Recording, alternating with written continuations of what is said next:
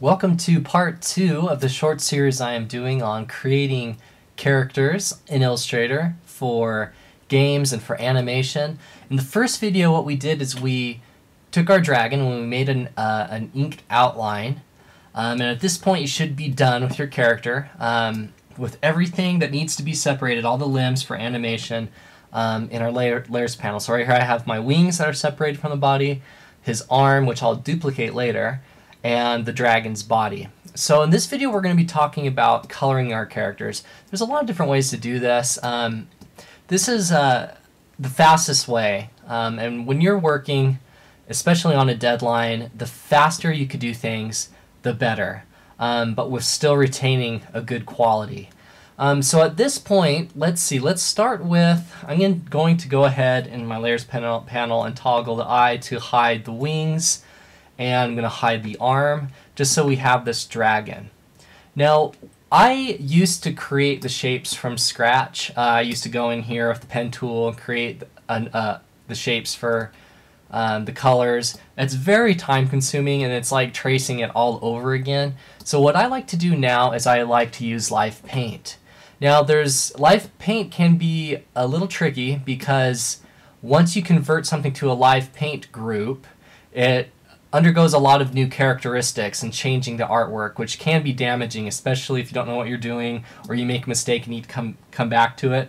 So as a rule of thumb, I always like to, just in case um, a mistake happens, I like to take my whole character, drag to the side, hold alt, make a copy. Just so I have an original, just in case something goes wrong with this. Um, I'm going to do it right, so I don't need to make a copy. But what you need to do first is you need to make sure that everything is closed in on your character, meaning there's no open spots.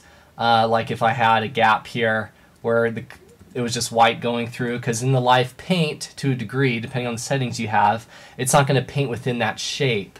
Um, so what we want to do is I'm going to select everything on this layer and going to Object, Expand.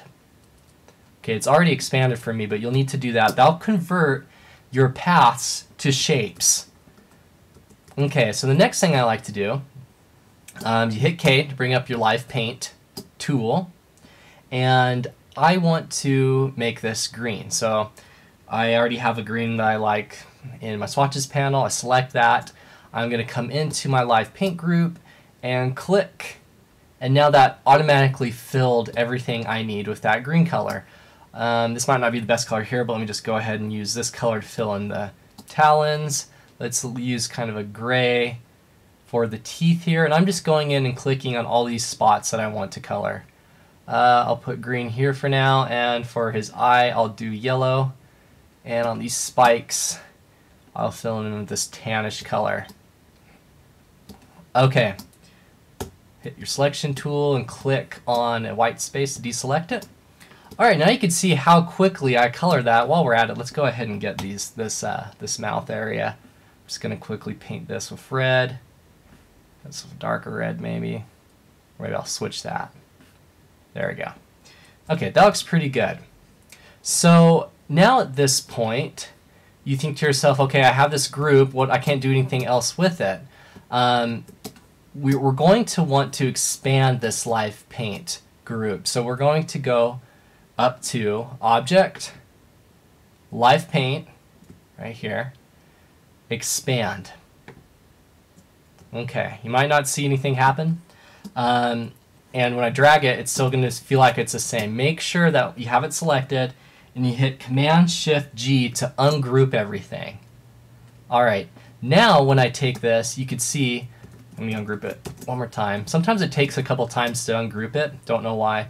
Um, now you can see my color is cut out. It's its own shape, independent from the inking I did. Here's the tongue cut out. This is really, really handy and really fast.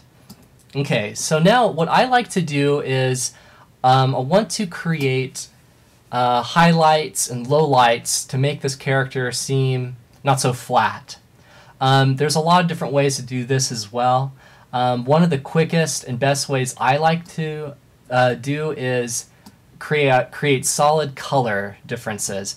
Um, you could use gradients if you want. It's a little more time consuming, and I have found that when I'm doing stuff for games Gradients, a lot of times, they don't look good. There's a lot of banding depending on the color depth that is uh, inputted into uh, the, the build.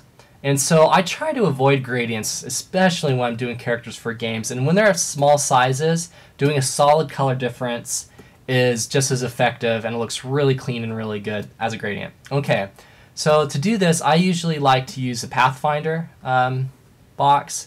Um, there's some newer tools in CS5 and on where you could do a shape builder tool, but I'm kind of old school. I'm really used to the Pathfinder, so I still use that. I use it all the time. I have it by default in my workspace. So let's start with a good shape here. Let's start with this eye. So what I like to do is since this eye is independent now, I like to grab this eye, hold shift and drag it straight over to the side and make a copy by holding alt. Okay, now all I have to do is drag another shape just barely off and hold Alt to create another copy. Select those all and I'm going to hit minus front. Now I have a new shape which if I hold shift it'll go right back exactly where it needs to go and I release it.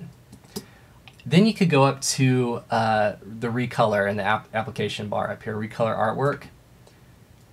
Go to edit, if you're doing multiple colors, you want that little link unjoined uh, right there.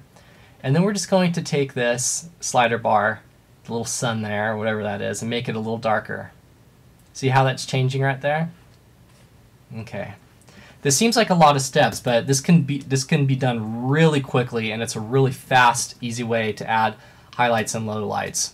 So I'll do this really quickly. I'm going to take this tongue, I'm going to drag it off, make a copy, offset it, minus front, edit this with a darker color, bring it down, okay, drag it over, place it.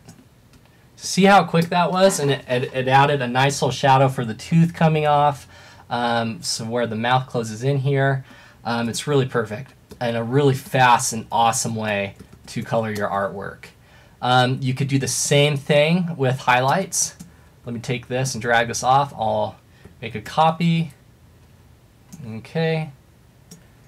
And pretty soon you have colors to sample from, so you won't need to come back to the recolored box. There's that. I'm going to take another piece on this side, on the right side this time. Minus front, drag it back over. Now I can make nice highlight. Move this over. Saturation down. There we go. Now I have a nice highlight. See how quickly that was I was able to do that. And when you have um, those colors already there, you can sample from, from them really quickly, as you can see. Hit I for the eyedropper, sample that color, bring it over.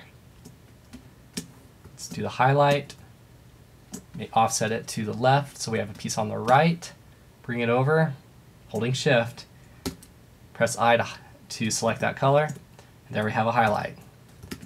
I could toggle those in the layers panel uh, with the brackets to bring them forward. You see how quick that is. I could, I could do this character really, really fast. One thing to keep in mind when doing this, let's bring up the arm. I'm going to hide the dragon layer. You see how this is going to be, this is open, there's no line closing that because that would look pretty strange in design if I had a black solid line here. Something we could do is temporarily make a line so our live paint will work. So I'm going to go to the arm layer, Press P to bring up my pen tool. Let's just create a line connecting these. Give it a black stroke. That will do. Now select all of those. Object, expand. Press K to bring up my live paint. Hit my green color. Now I closed it in. You're not going to want to keep that there, so you're going to make sure it's selected. Go to Object, Live Paint, Expand. And we're going to ungroup it. Sometimes you have to do it twice. I don't really know why ungroup it with Command Shift G. And now I can take that piece I didn't want and delete it. There we go. Let's quickly make a little low light using that same technique of copying it, taking that, recolor artwork, bring down darkness, okay, shift drag it over, put it in place. There we go. Um, if you want to, you could also do highlights. It's a pretty quick way with the pen tool still. Uh, just creating a path. I always just start with white. until I put the color in later that I want. Put the stroke up, object, expand. Let's make it that green by color sampling it. Go up to recolor artwork and put the brightness up. There's a highlight. Okay, if uh, you're just going to have to continue that whole process until you have your character done. Uh, if you have any questions or comments, please leave them below and I'll try to answer them. Thank you, and coming soon in part three, we're going to start talking about prepping this and getting it ready for animation. Um, I will be using After Effects.